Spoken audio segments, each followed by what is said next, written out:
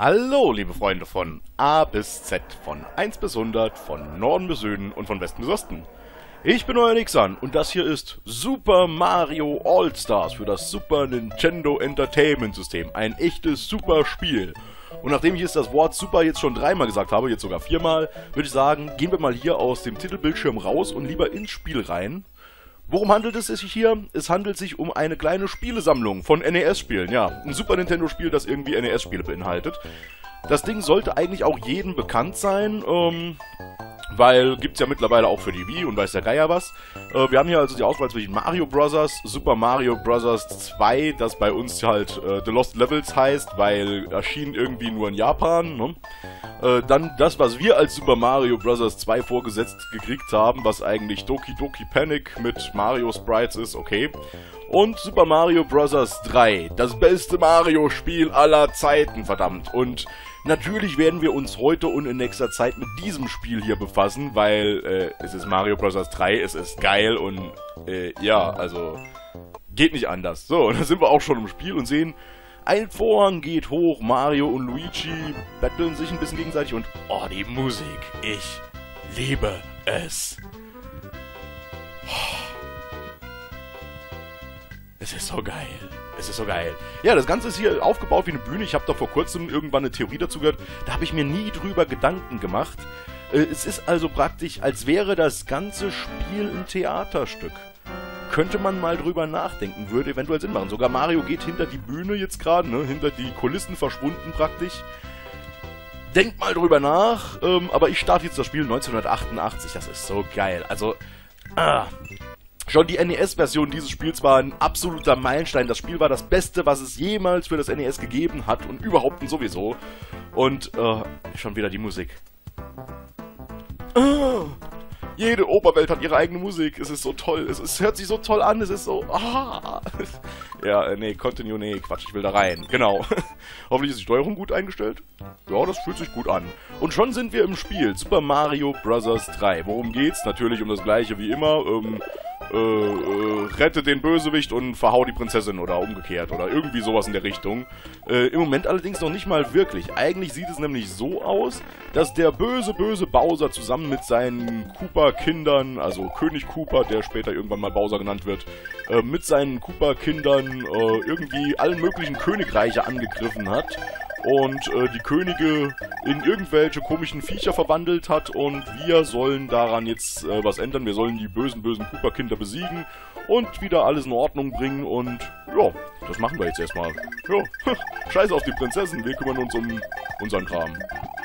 Ah, und da sehen wir auch schon das beste Power-Up im Spiel, ne? Also, das ist die größte Neuerung. Ich weiß gar nicht, wo ich anfangen soll bei dem Spiel. Dieser komische Tanuki-Schwanz, also ein Waschbärenschwanz, ähm, befähigt uns Gegner umzuhauen, Blöcke kaputt zu hauen und zu fliegen. Dürfte man auch alles kennen aus irgendwie Super Mario 3D Land für ähm, den, na, was war's, äh, Nintendo 3DS oder so. Da kam das Item ja auch wieder vor. Äh, machen wir uns jetzt aber weniger Gedanken drum. Genießen lieber noch ein bisschen die Musik. Ich glaube, ich muss bei mir gleich mal den Fernseher lauter machen. Ich höre irgendwie so furchtbar wenig davon. Und ihr hört wahrscheinlich in der Aufnahme hoffentlich wesentlich mehr davon und versteht mich trotzdem noch. Ich guck mal, wie ich das mit der Soundabmischung hinkriege. Ich will da doch runter. Yes. Ähm, warum sage ich jetzt die ganze Zeit, warum, warum beweihräuchere ich das Spiel? So ganz einfach. Ähm, Super Mario ähm, 3, Super Mario Bros. 3 für das NES war für mich so der ausschlaggebende Grund, als ich das als kleines Kind irgendwie bei Freunden sah, dass ich unbedingt ein, äh, NES haben wollte. Auch wenn ich es nie gekriegt habe, ich war von dem Spiel dermaßen begeistert. Also mir haben die Vorgänger auch gefallen, also falsch, ich kannte nur Super Mario Bros., also den ersten Teil und ein paar andere Spiele fürs NES, aber die haben mir auch gefallen. Aber das hier war so das, boah, geil, besser geht's gar nicht. Und ähm, Zugegeben, die SNES-Version sieht gleich noch ein bisschen besser aus, weil eben alles ein bisschen überarbeitet wurde, damit es schöner aussieht und so. Wisst ihr nicht? Ah, ne. Okay, mein Fehler. Ja, sieht also noch schöner aus, klingt auch noch schöner. Ähm, spielt sich genauso gut. Es ist einfach perfekt von der Steuerung und von allem her. Und äh, auch wenn ich das Spiel niemals haben konnte, weil ich nie ein NES hatte, kam dann irgendwann eben die glorreiche Zeit, in der ich ein Super Nintendo hatte und dann eben genau dieses Spiel für das Super Nintendo auf den Markt kam als ich das in der Werbung gesehen habe, war ich dermaßen begeistert, das könnt ihr euch gar nicht vorstellen. Das musste ich mir natürlich sofort kaufen. Es ist schön, dass die ganzen anderen Mario-Teile dabei waren, aber äh, das Wichtigste ist eigentlich das hier. also alles andere ist nebensächlich. Ja. Ach, die ist hier, okay. Ui. ja, ich kenne das Spiel so ein bisschen, ne? Ich habe schon mal gespielt, kann man, kann man sich denken. Wenn ich es damals schon hatte, in den 90ern, in den frühen 90ern. Was spät ist, wenn man denkt, dass das Spiel 88 rauskam. Aber wie gesagt, ich hatte ja kein NES. So. Ähm, und ja, äh, es ist einfach, alles hier ist perfekt gelungen. Also, äh, die Darstellung ist einfach so viel besser als in den vorherigen Spielen, einfach weil man sich viel mehr Arbeit mit den Sprites und allem gemacht hat. Äh, klar, auf der Super Nintendo-Version sieht sowieso wieder alles noch besser aus, aber äh, prinzipiell war schon die NES-Version allem anderen überlegen. Dann hat man so viel ganz tolle... Das hätte ein Stern sein müssen von rechts wegen her, ich war schnell genug. Egal. Ähm, dann hat man sich so viel Arbeit mit der Musik gemacht, wirklich so vielfältig. Jede Oberwelt, wie gesagt, hier hat eine eigene Musik und die ist immer irgendwie cool und äh. Dann diese ganzen Extras, also eine Oberweltkarte, das gab es ja bis dahin eh noch nicht. Übrigens Toad House, da kann man Items einsammeln, ne? Äh, wähle eine Box aus. Äh, sein Inhalt wird dir auf deinem Weg helfen. Ihr Inhalt, aber egal. Oh cool, ein Blatt. Das ist ja sehr vorteilhaft. Blatt ist irgendwie Tanuki-Schwanz und dann ist alles super und so. Geile Sache. ähm, ich glaube, ich habe einen Fehler gemacht, oder? Ich glaube, ich habe einen Fehler gemacht, ja. Ist egal. Ignorieren wir das. Brauchen wir eh nicht. Ich hätte im Level 3, glaube ich, eine Flöte einsammeln können, aber die brauchen wir eh nicht. Wir wollen eh das ganze Spiel sehen. Also, äh, ich muss vielleicht nicht zwingend jedes Level spielen, das sehen wir dann später, aber äh, ich will auf jeden Fall jede Welt spielen. Weil, ja, und die Flöten sind nur zum Überspringen von Welten. Ja, also wie gesagt, viel Mühe in die Musik geflossen, in die Sprites geflossen. Es gibt so viele Dinge, die es vorher nicht gab. Ich meine, vorher konnte Mario rennen, springen und Feuerbälle schießen, wenn er gerade mal eine Blume hatte. Hier kann man das auch prinzipiell. Man kann aber zum Beispiel auch fliegen. Man kann Schildkrötenpanzer einsammeln, mitnehmen und irgendwo gegenschießen. Blub. Zack, ja, so kann man dann auch Leben sammeln. Wenn ich es schon vorhin bei der komischen Zielbox verkackt habe, ja, dann kriege ich wenigstens hier ein paar Leben. Ähm, ja, dann gibt es eben immer diese Zwischenlevel auf der Oberwelt, also diese Toadhäuser, wo man Items kriegen kann. Es gibt Minispiele, bei denen man Leben gewinnen kann. Es gibt Hammerbrüder-Level, wo man gegen Hammerbrüder kämpfen muss und so weiter und so fort. Dann gibt es noch unzählige andere Power-Ups, die wir später noch alle kennenlernen werden und ja, äh, es, es, es nimmt kein Ende. Spiel perfekt in jeder Hinsicht. Warum ist hier eigentlich eine verdammte Schildkröte? Erfüllt die irgendeinen Zweck? Versteht wer will. ich verstehe es nicht. Oh, da ist ein Hammerbruder und hier komme ich, kriege ich keinen Stern. Ja, ja, nee, klar, jetzt kriege ich ihn. Obwohl ich eigentlich zu langsam war, kriege ich den Stern. Aber vorhin, wie ich schnell genug war, kriege ich eine Blume. Also das ist, ähm, ja, wenn man mit voller Geschwindigkeit da angelaufen kommt am Ziel und dann im richtigen Moment springt, dann kriegt man normalerweise immer einen Stern. Und wenn man drei Sterne sammelt durch Level beenden, dann kriegt man eben fünf Leben und darauf hatte ich es abgesehen, aber nö. So, Minispiel, hier können wir Leben gewinnen. Wir müssen irgendwie eines der Symbole zusammenbauen. Das wird eine Blume, wenn ich es richtig mache. Dann hoffen wir mal, dass es klappt. Hm. Noch ist es eine Blume, okay. Klappt das, klappt das? Nein, es ist ein Blern oder so. Oder eine Stume oder ich weiß nicht. Scheiße. Hm. Und da wären wir schon im ersten Minischloss. Das gab es vorher auch nicht, ne? So, ähm, Zwischenschlösser zwischen den eigentlichen Welten, also vor dem endgültigen Ziel. Da wäre eine Feuerblume, schöne Sache, will ich aber nicht. Und ähm, hier gibt es dann natürlich auch einen Miniboss, der hier in Mario Bros. 3 eingeführt werde und, äh, wurde und den mittlerweile jeder kennt, weil er in jedem verdammten New Super Mario Bros. Spiel und was es sonst alles gibt, 100 Milliarden Mal recycelt wurde. Ich glaube, heute nennt man ihn Bum Bum, ob er damals einen Namen hatte, weiß ich nicht. Da oben kann man übrigens hinfliegen, drüber fliegen und eine Flöte holen. Will ich aber nicht. Ich brauche keine Flöten. Ich hab's nicht nötig. Ich will das Schloss spielen, so wie es gedacht ist. Ist halt schade, dass man das Schloss nicht wieder betreten kann, um sich die Flöten dann doch noch zu holen, wenn man das wollte, aber äh, wie gesagt, ich brauche sowas nicht. Ich bin einfach zu gut für diese Welt und äh, auf Flöten kann ich verzichten. Ja. es ist auch irgendwie nicht wirklich schwer hier durchzukommen. Man hätte sich eben, wenn man dort hochgeflogen wäre eben und die Flöte geholt hätte, hätte man sich das ganze Schloss gespart und auch den Endkampf hier gegen Bum Bum oder wie auch immer er heißen mag, aber äh, ja, der ist hier genauso spektakulär und schwer wie in den New Super Mario Bros. Spielen. Da brauchen wir nicht drüber zu reden. Und das ist übrigens auch was, was das Spiel doppelt richtig gemacht hat. Äh, bei den New Super Mario Bros. Spielen und so, da äh, weiß nicht, da, da jammer ich immer über den Schwierigkeitsgrad, weil die Spiele so furchtbar leicht sind. Ähm, und bei den etwas älteren Mario-Spielen, sprich bei Mario Bros. und vor allem bei Mario Bros. Lost Levels, da jammere ich eher darüber, dass die Spiele viel zu schwer sind. Das hier ist ein schöner Mittelweg. Das Spiel ist am Anfang sehr, sehr spielbar, sehr einfach. wenn man ein bisschen Grundskill hat, dann kommt man hier überall problemlos durch. Auch wenn man die Welt nicht auswendig kennt, so wie ich. Ähm, aber äh, später wird das eben wirklich zunehmend fordernder. Und das letzte Level hier in Mario Bros. 3 ist mehr oder weniger legendär. Allein schon, weil es wirklich vom Schwierigkeitsgrad her so viel höher ist wie der Rest des Spiels, dass es einfach Wahnsinn ist. Und deshalb sammeln wir auch wunderschön Items ein in Toadhäusern und so weiter und so fort. Die können wir nämlich im Map-Screen theoretisch aktivieren, um uns ein bisschen aufzupowern, falls wir mal in ein Level reingehen müssten ohne Power-Up. Und in Level 8 wird, also Welt 8, wird das dauernd der Fall sein, dass ich keine Power-Ups mehr habe. Weil Welt 8 schwer und so, ne? Ähm, ja, so ein Pech. Man hätte das erwartet, dass da irgendwann ein schweres Level kommen könnte. Also da bin ich wirklich dann um jedes Power-Up froh, das ich haben kann. So, bitte, bitte, bitte. Ja, schnell genug und... Pilz, das kann doch nicht sein. Ich war schnell genug. Blödes Spiel. Gibt wieder nur ein Leben, Mensch. Ja, also wenn man... Oh, da gibt es ein Kartenspiel? Ich weiß gar nicht, was die Voraussetzung dafür ist, dass die erscheinen. Vielleicht, dass ich zu einer bestimmten Zeit oder mit einer bestimmten Münzzahl ins Ziel komme oder irgend sowas, aber... Naja, egal. Äh, ja, ja, wir müssen Karten umdrehen. Das ist wie Memory. Also wir können zwei Karten aufdecken und sehen dann, was dabei rauskommt.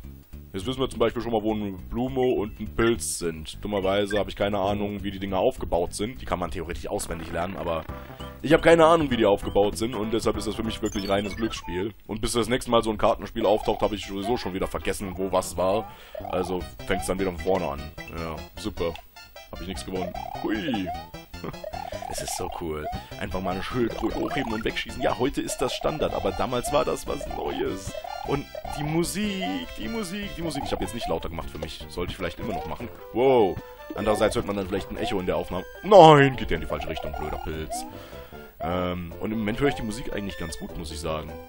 Vielleicht bin ich leiser geworden. Das geht mir sowieso meistens so in den Aufnahmen, dass ich ziemlich laut anfange und am Schluss ziemlich leise werde und dann stimmt die Tonspur nicht mehr. Also dann am Anfang hört man mich gut über die Musik und hinterher dann gar nicht mehr oder so. Das ist natürlich doof, aber kann ich nicht ändern. Gut, der Blindsprung hätte auch in die Hose gehen können. Yay! Ja, scheiß drauf. War egal, was ich jetzt noch kriege. Mehr als ein Leben hätte ich sowieso nicht mehr gekriegt. Also, ich glaube, wenn man drei Pilze kriegt, kriegt man zwei Leben, bei drei Blumen drei Leben und bei drei Sternen fünf Leben oder so, aber sicher bin ich mir da auch nicht. So, ach so, dann könnte ich gerade mal zeigen. Ähm, wir haben ja vorhin in einem Pilzhaus so ein Item eingesammelt. Das könnten wir jetzt hier einsetzen, das Blatt. Können wir aber auch lassen. Wir können ganz viel davon sammeln. Und je mehr wir haben, desto besser. Wir dürfen leider in jedes Pilzhaus nur einmal rein. Nicht so wie in den New Super Mario Bros. Spielen, wo man 100 Millionen Mal rein kann, wenn man nur mal kurz die Welt verlässt oder so. Nee, hier geht das nur einmal und dann muss man sich mit dem Item zufrieden geben, das man kriegt. Und man kriegt auch immer nur ein Item und nicht 10 oder so. Ähm, ja, aber das reicht. Wenn man weiß, wo die Dinger sind und drankommt und überhaupt, dann ist das super. Und übrigens, die Musik.